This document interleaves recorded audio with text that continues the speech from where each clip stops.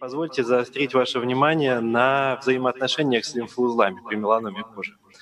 И когда мы говорим о мультидисциплинарном лечении меланомы, именно так называется наше мероприятие, мы, естественно, говорим о раннем выявлении и выполнении адекватных биопсий, что позволяет нам, естественно, адекватно стадировать заболевание. Если мы говорим о стадировании, то это, конечно же, классификация GCC, система стадирования, которая э, является огромным пластом информации, позволяющей нам э, выявить факторы прогноза и определить дальнейшее лечение. Но все-таки хотелось бы узнать, что у нас со стадированием Российской Федерации.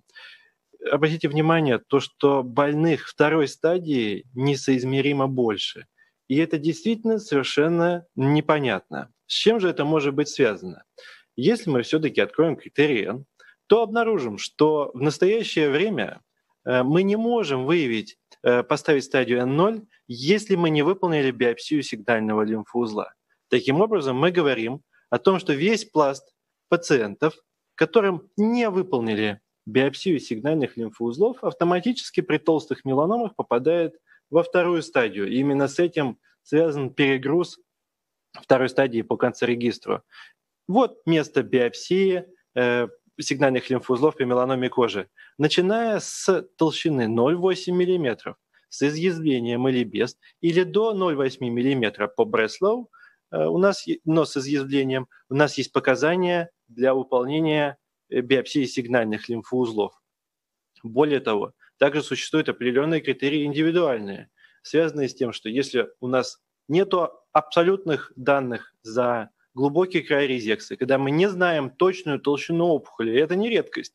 Я уверен, что Михаил Сергеевич э, осветил вопрос глубокого края и вариантов выполнения э, эксцизионной биопсии, позволяющей точно определить опухоль, э, толщину опухоли по Бреслову. Но все же бывают и такие случаи. Мы понимаем, не зная точной толщины, следует рассмотреть вопрос биопсии сигнальных лимфоузлов. Кроме того, есть еще другие отягчающие условия, такие как высокий метатический индекс и лимфоваскулярная инвазия. Комбинация этих факторов также заставляет нас рассмотреть вопрос э, биопсии сигнальных лимфоузлов.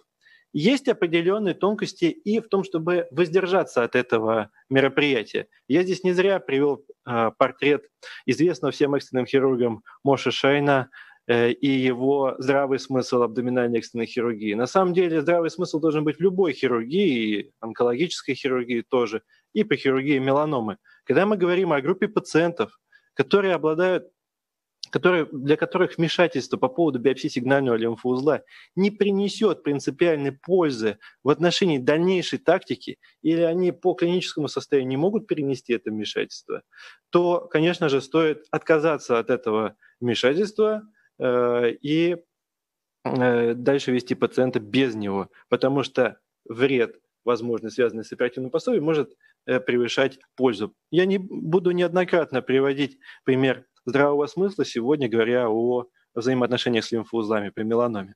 Итак, биопсия сигнального лимфоузла. Мы понимаем, что существует определенный лимфатический паттерн, и существует группа лимфоузлов, которая первая возьмет на себя метастатическую атаку от первичной опухоли. Именно выявление этих, этой группы лимфоузлов и является биопсией сигнального лимфоузла. Зачем это делать? И здесь я привожу уже портрет отца-основателя этой методики Дональда Мортона, его команды. И исследования его команды позволяют нам говорить о том, что это высокочувствительная методика. И сигнальный лимфоузел – это мощный прогностический критерий. Более того, мы, выполняя эту процедуру, усиливаем э, улучшаем показатели меланома-специфической выживаемости в связи с тем, что мы назначаем последующим адъювантное лечение. Вот зачем нам выполнять биопсию сигнального лимфоузла. Мы как, как можно раньше Э, ставим третью стадию и, следовательно, начинаем эффективную э, терапию, современную с использованием э, иммунных факторов и таргетной терапии. О ней нам расскажут наши специалисты по системной терапии в следующих докладах. Пару слов о технике самой биопсии. Существует несколько этапов биопсии сигнальных лимфоузлов. Разберем каждый из них. Предоперационная лимфосцинтиграфия. Естественно, она обладает определенными особенностями в зависимости от той зоны, в которой находится первичная меланома. Замира Ахмедовна, большое спасибо, уже эм, отразила специфику и сложность э, вмешательств на зоне головы и шеи. На туловище конечностях есть свои особенности, связанные с, в том числе и с билатеральным э, лимфотоком, связанные с предшествующими патологией, с различными флебитами, предшествующими вмешательствами, когда мы должны грамотно оценить лимфоток, ровно как и разобраться э, по данным э, лимфосцинтиграфии предоперационной, что является истинно сигнальным лимфоузлом, а что является лимфоузлами второго порядка. Мы знаем сейчас благодаря э, современным данным о лимфотоке, которые были на самом-то деле основаны на работах САПЕ о том, как у нас все-таки э, данные о лимфатическом паттерне нашего организма, который позволит нам планировать биопсию сигнального лимфоузла. Более того, не надо забывать, что биопсия сигнального лимфоузла – это оператор-зависимая процедура. И если мы обратимся к ранним работам Мортона и его команды, то на самом деле проверить качество выполненной биопсии сигнального лимфоузла можно только тем способом, что если мы после биопсии сигнального лимфоузла будем выполнять тотальную диссекцию. Естественно, в настоящее время это не показано. И обратите внимание, что каждый хирург обладает Э, своими особенностями как обучения, так и между хирургами есть, конечно же, различные результаты в плане чувствительности данной методики. Поэтому очевидно, что э, эти вмешательства должны э, выполняться опытной командой. Иначе эта методика будет просто дискредитирована. Если мы говорим о самой технике, в настоящее время э, использование радиоколлоидов является стандартом. Стандартом также помощь Э, к радиоколлоидной методике э, могут быть использованы и ICG-технологии, и стандартные красители, применявшиеся с самого начала. Но, конечно, радионуклидное использование является стандартным, которое позволяет э, выявить как пер... лимфузы первого порядка, так и второго. Какой радиофармпрепарат выбрать? Стандартом в настоящее, является, в настоящее время являются, конечно, наноколлоиды, которые позволяют успешно маркировать сигнальные лимфоузлы и мы действительно можем оценить весь лимфатический паттерн э, после выполнения исследования в гамма-камере.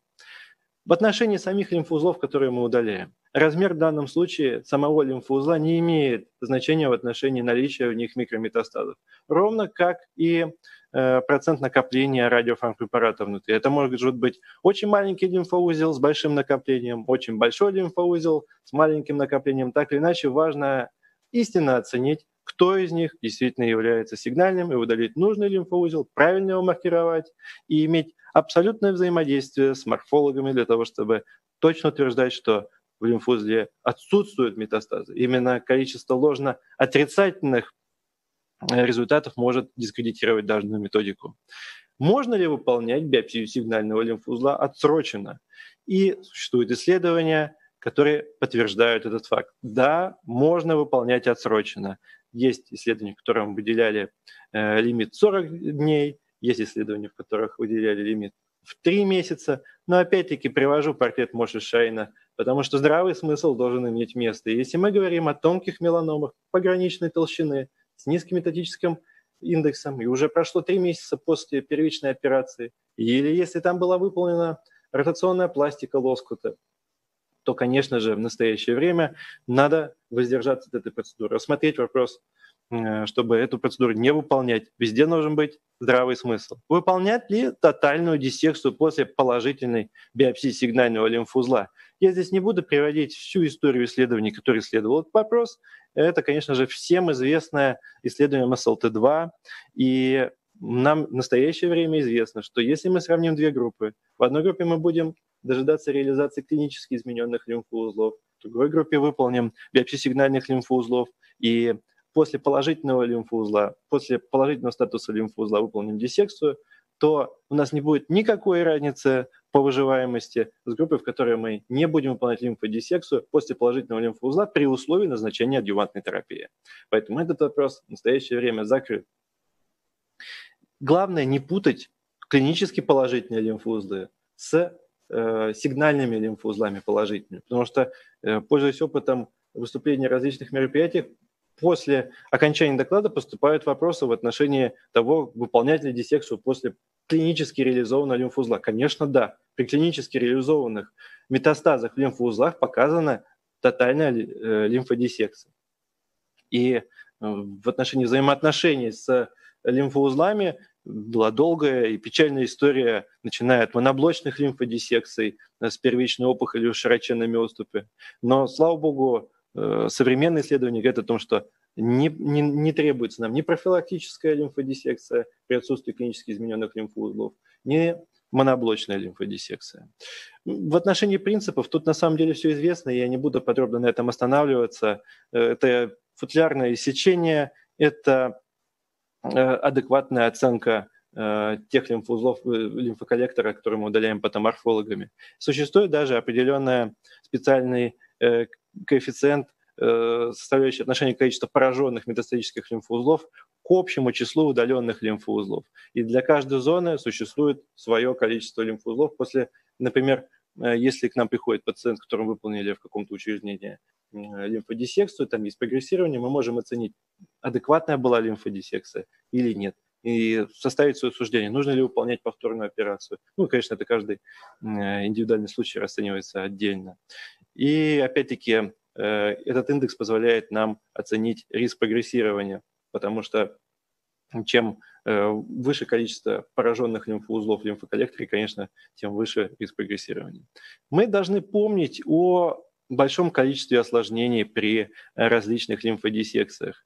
И опять-таки здравый смысл должен иметь место. Мы должны понимать, что хирургия меланомы в настоящее время э, уходят на второй план. Это прежде всего системное лечение. Хирургия сейчас занимает это диагностика, эксцизия и циторедукция различного плана. И поэтому э, там, где возможно воздержаться от лимфодиссекции, где у нас нет абсолютных показаний в соответствии с рекомендациями, э, надо каждый вопрос оценивать отдельно и извешивать те риски, которые понесет э, наше вмешательства.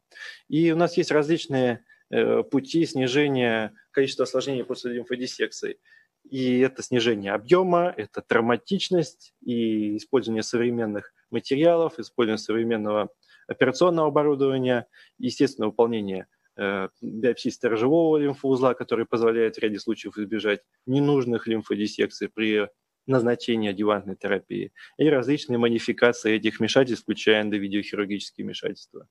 2017 год стал революцией в отношении э, системной терапии. Вышел ряд исследований, который позволил э, открыть новые возможности нашим дорогим пациентам э, в отношении системной терапии. И наши Э, специалисты по системной терапии, конечно же, осветят этот вопрос, не буду заступать на чужую территорию. Поэтому мы должны понимать то, что хирургия в настоящее время при меланоме занимает э, свое обособленное место. Мы, конечно же, э, работаем в рамках мультидисциплинарной команды и принимаем все решения совместно, исходя не только из показаний для увеличения продолжительности жизни наших любимых пациентов, но и улучшения качества жизни каждого из них. Большое спасибо вам за внимание, и я буду рад ответить на ваши вопросы.